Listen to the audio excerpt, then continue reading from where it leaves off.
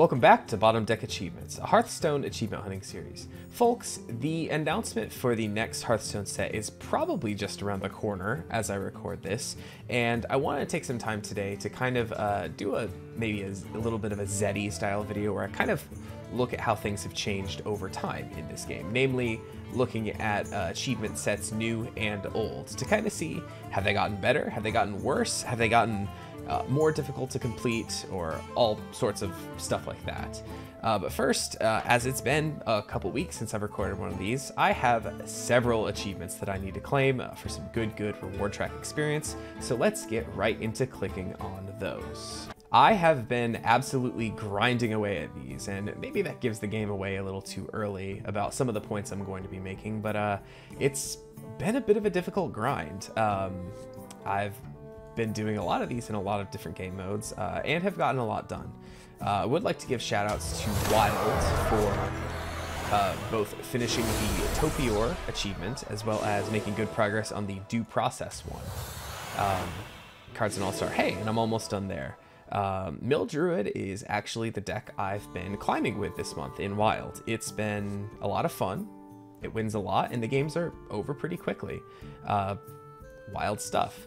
Uh, no pun intended. Uh, finished off the Hedge Maze achievement in duels, finally, still with the Elise builds. Um, not much else to say there. I think I've mentioned that a couple times. Uh, objection, I don't think I'm done with step two, but okay, I still have a little bit to go there. Should be an easy finish. I can also do that in Wilds with uh, Secret Mage if I want, because that deck is also very good. Uh, moving on, step two, definitely not step three. I'm exactly halfway done with this grind with Paladin. That's a bit of a rough one because that's not a great card. I'll figure it out though. Uh, I mostly want to click on all these just to kind of see where I'm at. Um, Muffled Screams, the Kidnap one, uh, as well as Perjury, which I think I'm totally done with. Yes. Um, I've been playing a lot of Secret Reno. I actually have a duels run going right now that's uh, sitting at 11 wins with a secret Reno list uh, where I actually got both the hilt and blade of Quel'Delar to make uh, the the full sword, and it's been it's been it's been carrying me. Uh, so I'm I'm one game one game away from 12 wins with Reno for the first time, which is pretty cool. Um, yeah, I've been playing since there's there's two achievements for Rogue and one, technically two if you haven't finished Orion yet, um, for Mage that deal with secrets it's a perfect fit for Reno. Uh, so I've been doing that. Ba, um, not enjoying the Control Shaman I covered a couple weeks ago uh, as much. Uh, it's uh, it's kind of difficult to win games actually, uh, but I am still playing it every now and again because I I got to get this Muck Pools one done and the the Vashj one done as well. Um, and there's no real other evolution list that's really uh, doing much of anything right now. And then I think I'm done other than the neutrals, which I have quite a few here. Um, step one of Sylvanas. Been doing that a little bit here and there, dual standard, little mix of both. It's kind of just an easy card to throw in almost anywhere as long as you're playing any minions. Uh, finally finished Dispossessed Soul with uh, Quest Priest. Not much to say there. Uh, Dinner Performer was not a fun card to play. Um, it's, you know, this one and the Creepy Painting are the two, like, neutral ones that are currently feeling the worst to do. Uh, that and I guess the Stoneborn General, but yeah, that one has at least its end in sight. But uh, yeah, not fun, that Dinner Performer. Uh, Afterlife Attendant had a, a couple more successful runs uh, with the with the uh, Stellina list that I covered the other week. Um, had a bit of a better time with that. Uh, and then finally, finally finished the Sin Runner one for another good chunky 500.1. So with those 15, knowing that we have probably about a month left, we are uh, at 65%, which isn't great. We want to be right around 75% at this point, I think. So I have a little bit more pushing to do. Uh, but I think that's going to lead into the main thing I want to talk about today. Um, when you look at the sheer number on some of these cards, um, and I, I kind of first started thinking about this when I was playing quite a bit of Hunter uh, with all the whole Wild Seed package and everything before the second nerf. Uh, I realized that as much as I was playing the deck, I was still nowhere close to finishing this achievement. Uh, I had been you know, playing the deck for pretty much all my standard games were this deck uh, for about a week, I want to say. And I, eh, maybe that's a lie. Maybe it was less than a week, but still, I was playing it a good amount and felt like I was doing a good job summoning the Dormant Wild Seeds, but I was still so far away from finishing this one. And then when I look at some of the other ones, like 60 minions with objection. You can only do this one at a time. You can only have one secret up at a time, one copy of objection, that is. That's 60 times you have to play this card. Um, the, you know, this for being a mini set card, once again, you have to play it 50 times. I guess unless you double up the battle cry with Brann, but even then, it's a pure paladin card. Brann isn't a paladin card, so it, it, got, it gets kind of tricky. So I was I said all this to say, I was going through this list and a lot of the numbers seem pretty high. And so it got me wondering like what the developers kind of intended for people as far as uh, getting these achievements done, whether they expect people to not get all these done and just kind of do the ones for the, the stuff they want to play, or if if they do expect people to get all these done, uh, why the numbers are so high that it's making it difficult for even someone like me who bases most of my uh, Hearthstone playtime on chasing achievements. So dang difficult because I feel like I'm far behind where I usually am at this point uh, in the set. And um, like, I mean, look at this Sinstone Graveyard. Like, I haven't even finished step one of this one. Uh, the Shaman one, the Muck Pools. Uh, I'm not even halfway finished. I've been playing a good amount of that control list. Um, yes, I'll finish this one. This one seems a lot more reasonable. 40, uh, so doing this effect 40 times. There's multiple ways to proc this. Uh, this Muck Pools one, you have to, first you have to find the card, which yes, in a standard list, it's uh, two copies each. Uh, but then, you know, getting uh, there's a lot of games where I don't get three full procs off of the, the location by the time I, I get to it and stuff. Plus, I want to sometimes hold on to it for waiting for a Vashj or a Null or something like that. So it, you know, it's it's not as easy as just doing that. Um, and like I said, I look through this list and I look through this list and I just see a whole lot of high numbers. So I wanted to go back and kind of look at some of the older lists to kind of see, you know, how that's changed. Um, so especially because this is the uh, this mark this this set marks the um, the second full year of achievement sets that we've gotten. Uh, the first one was Darkmoon Faire, which was the third set of whatever the standard year was two years ago. Uh, don't quite remember but at this point. Gryphon? Hold up. No, the one before Gryphon. Whatever it was. Um, I'm I'm bad at these. They don't matter anyway. Um, but I look through this one, and uh, I guess another another thing, and I've mentioned this before, is that a lot of the ones in the new set name specific cards, and we'll get to this eventually. But uh, a lot of the other achievements in some of the sets uh, fairly recently didn't do that. There were multiple ways to get these done, uh, not necessarily playing the cards from this set. This one names one, two, three, and then, you know, a specific cycle of cards from the set as well. So they might as well have. Once again, names the card, names the card, names the card, names the card. Uh, and, you know, cycle of cards here, names the card, names the card, names the card. And you see this is a trend that has um, really picked up recently. And yes, I said all that to say this. In the Darkmoon Faire one, you kind of see the same thing. Names the card, names the card, names the card, names the card. And it's kind of like this throughout the whole thing. So you say, okay, maybe throw this one out. This was the first set that they did achievements. You know, maybe they were just trying to figure out what to do. But how do the numbers look? Well, another thing that they stopped kind of doing is there were a lot of achievements in some of the earlier sets that could be done in a single game or one turn. You know, this redeemed pariah one with 10 attack, destroying five minions in a single turn with thrown glaive. Uh, yes, there were grinds as well, the Il'gynoth one, the Illidari Studies one, and uh, you find a good little mix here.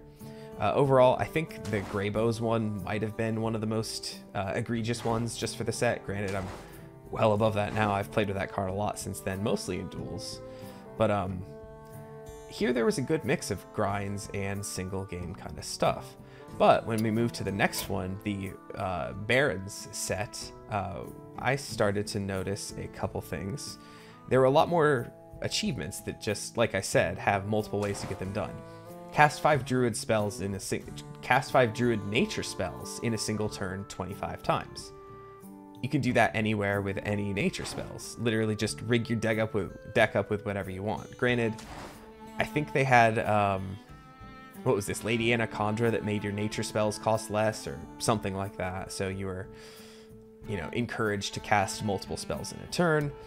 But you didn't have to. You could do it with whatever you wanted. Uh, same with this one. I did it with Giants in Wild because I didn't have Celestial Alignment. Didn't want to craft it. It would have been fine because it's gotten nerfed since then. But uh, uh, just the fact remains, you could have done this with um, with really any setup you wanted, provided you could sort it out on your own. Um, and yes, of course, there are cards that are named uh, Sunscale Raptor, Tavish Stormpike, um, but like I said, also a good mix of stuff. Destroying minions with poisonous beasts and weapons. I think this one was only in here because there was uh, they they added a poisonous weapon to the mini set, uh, as well as like a spell that just gives a beast poisonous but there were lots of other things you could do with it. Um, stuff in wild. Uh, I think there is just a neutral in this set that could do it. Uh, it was a super easy one, and as you can see, just without even grinding for it, 545. Granted, we're almost two years past this, but you know, there it goes. And then you look at like the mage one, freezing characters with elementals, destroying frozen minions. Like these are like easy ones to do, not even necessarily with the cards from this set. Yes, some cards from the set help, but there's a lot of like flexibility here. And like I said, a, a good mix of things to be done in a single turn or a single game versus grinds. Um, and it kind of remains the same through Stormwind as well. Uh, but it was in Alterac Valley that I started to kind of notice that, um, oops, if it'll load, there we go. Um, I started to notice in Alterac Valley, it kind of started to get to the point where uh, it just kind of centered around uh, naming specific cards from the set and no real build around conditions. And why is that? Um, maybe because uh, some of the earlier stuff was more kind of generalized. Like in Darkmoon Faire, there was one for just giving Silverhand recruits uh, Divine Shields. There was one for just popping Divine Shield on minions. Over time, more of those basic ones kind of get used up. Uh, now I could see if they wanted to do something similar in the current set, like give X Silverhand recruits Divine Shields with Buffet Biggun, because that is a card that does that uh, when you meet a certain condition. So, um, what I wanted to do is kind of come up with a kind of a metric for how easy or hard it is to get these achievements done. And I had to go all the way to Alterac Valley. Um, the Stormwind and Baron sets didn't really work for this because there were you know, like I said, a lot of things that can be done in one turn or a single game. Uh, the grinds weren't that bad.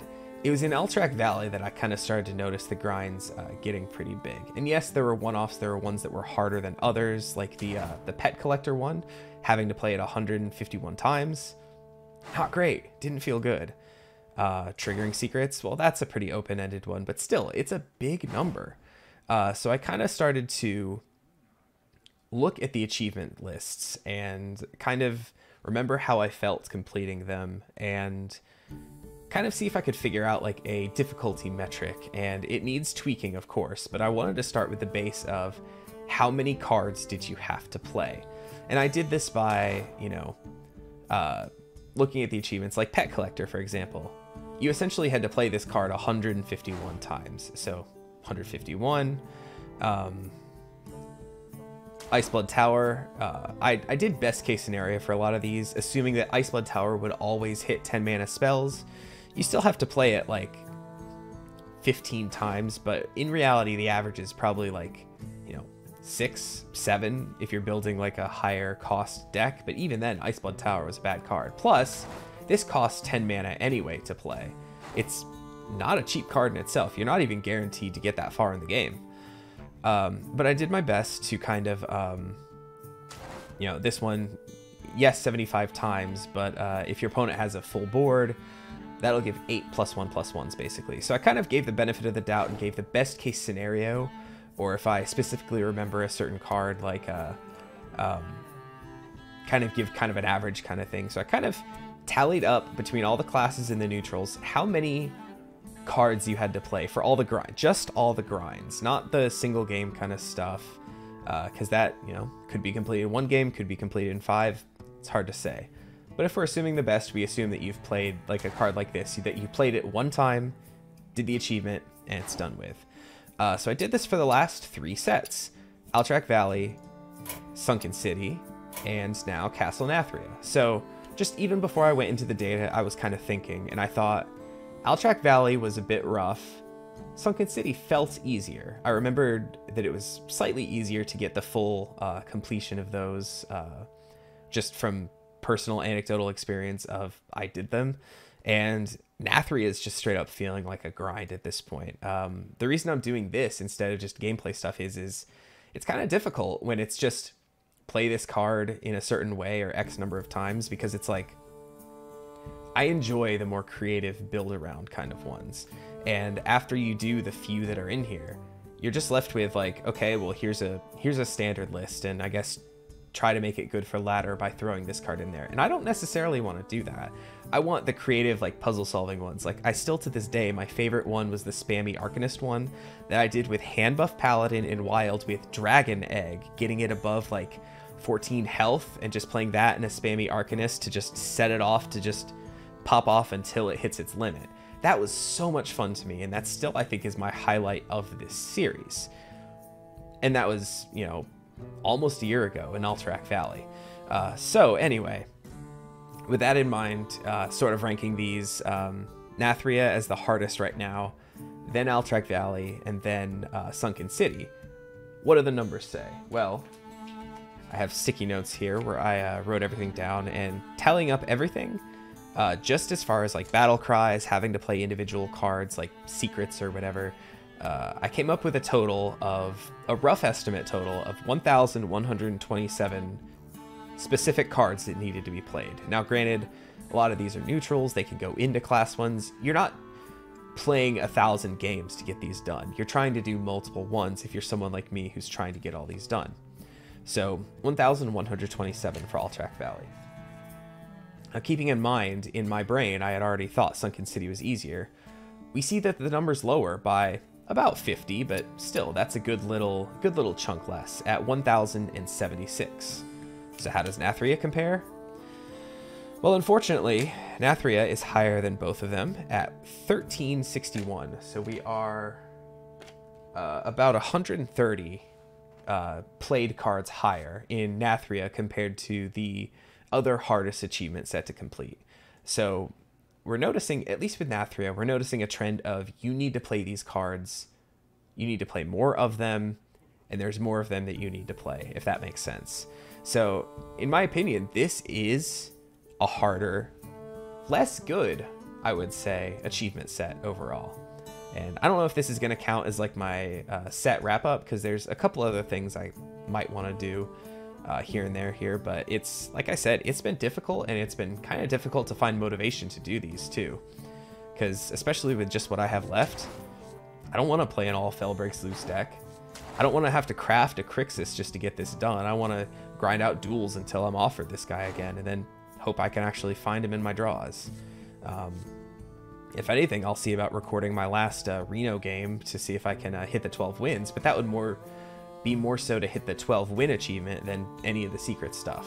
You, yes, you'd see some secret stuff thrown in there, but that's where I'm at right now. And it, it kind of sucks because I started this series as wanting to uh, be the achievements guy to kind of like put guides out and stuff, but when the guides are just put this card in your deck and play it, it doesn't feel that great. So I'm still plugging away at these. I'm still very excited for what comes next, but uh, it's I'm just really hoping we see like better quality achievements. I'm really curious as to how the achievements get made and who makes up the numbers. I I, kind of wanted to like ping somebody from the team to see if they'd sit down and talk with me. Maybe I will do that actually, but uh, as of right now, this is where things stand. Um, still got a lot of work to do for this set, and I'm really hoping to finish up. But hopefully, me getting a lot of this out there and just kind of talking about it in a video helps. So uh, that's I've been talking for how long now? Jeez, like 20 minutes. That's that's kind of rough, but uh, that's about the average length for these. Probably won't have to do too much editing.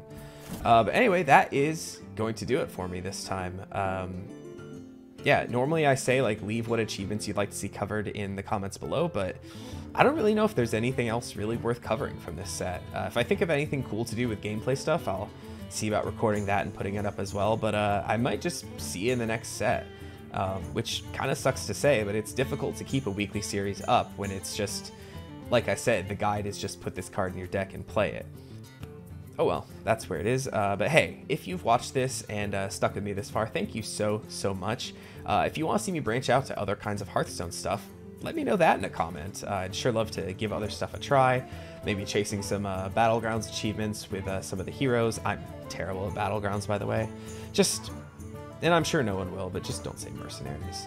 Uh, follow me on Twitter and Twitch if you haven't done so already. Uh, subscribe to the channel, uh, like the video, do all that kind of stuff. check out some of my reaction content. I've been putting up, I finished up season one of Helluva Boss and I'm going through Over the Garden Wall. I'm actually recording this while an episode is rendering right now. Um, so go check those out if you like animation stuff. I'm pretty proud of those and I'm enjoying making them. So uh, do that if you, hey, eh, you might be watching this because you watched that other stuff. But uh, either way, if you made it this far, thank you. Uh, leave a comment telling me that you made it this far. Uh, but anyway, uh, I think I said all I need to say. Um, thank you so much for watching. And I guess as always, may the card you need the most never be at the bottom of your deck. I think I totally botched that outro, but whatever. See you later.